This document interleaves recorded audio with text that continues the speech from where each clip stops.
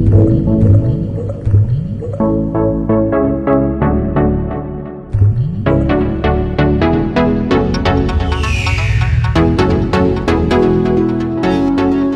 morning, church, and welcome to This Week with Pastor Dino.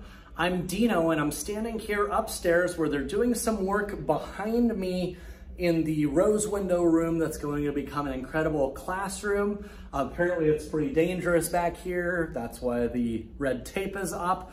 But I want to uh, start off this morning with a, a, devotional. Usually I use scripture, but um, there's a hymn that uh, we're going to be singing uh, upcoming here next Sunday, but this hymn's been really on my heart, and I want to read these words for you because they're, they're beautiful. Guide me, O thou great Jehovah, pilgrim through this barren land.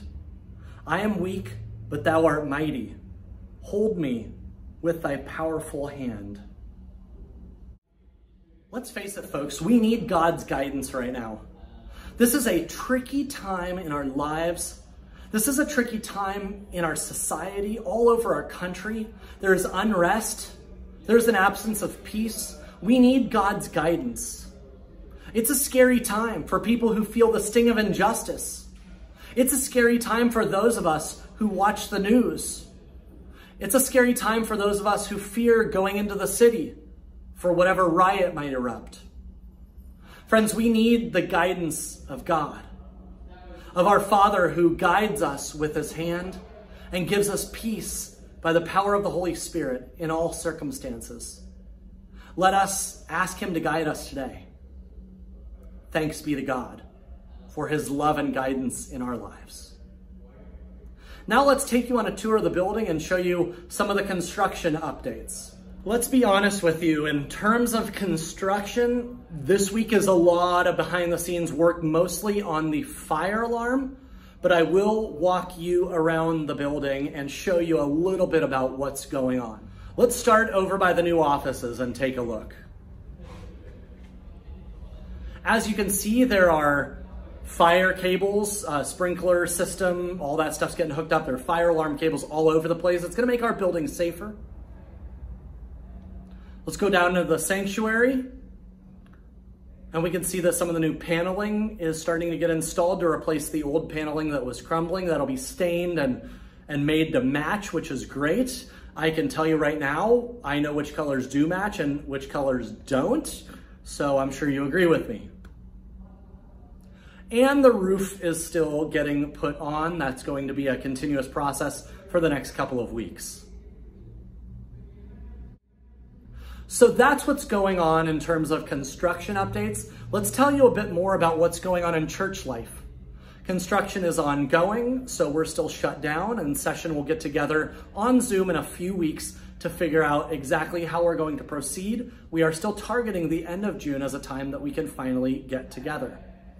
Now, the office is open, but it's hit or miss with air conditioning limitations, and they're working up in the offices sometimes, and they're doing plenty in the sanctuary. So the staff can't always be there nine to five right now. We're coming in as we can. We are happy to address your needs. Just shoot us an email or give us a call, and we'll be happy to help you out with anything you need. The food pantry is opening up tomorrow.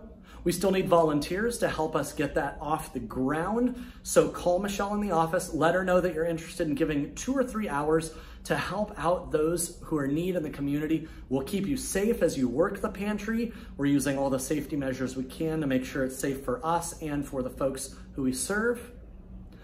And I want to thank you for being so great about your giving. Your generosity has been incredible.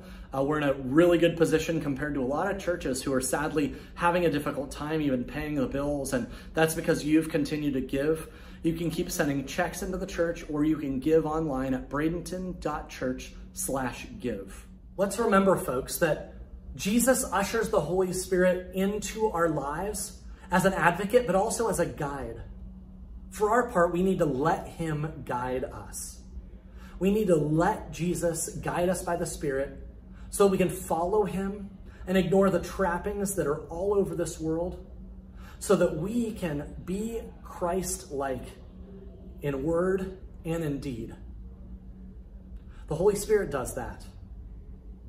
The Holy Spirit guides us. What a gift.